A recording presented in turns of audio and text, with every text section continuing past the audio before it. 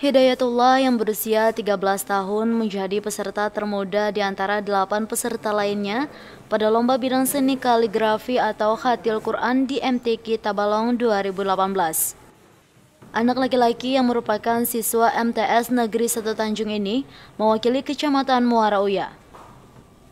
Menekuni seni kaligrafi menjadi salah satu kegemaran Hidayatullah – Bahkan ia menekuni seni ini sejak duduk di kelas 6 sekolah dasar.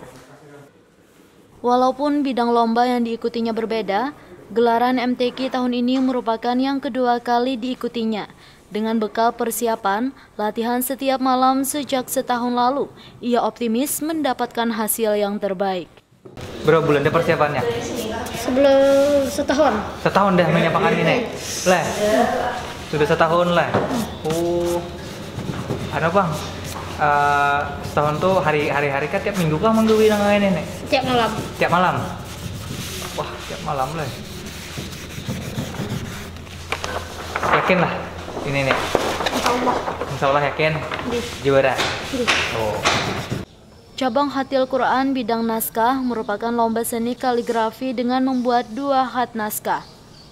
Panitia menyediakan waktu selama 8 jam untuk pengerjaannya. Muhammad Aditya, TV Tabalong melaporkan.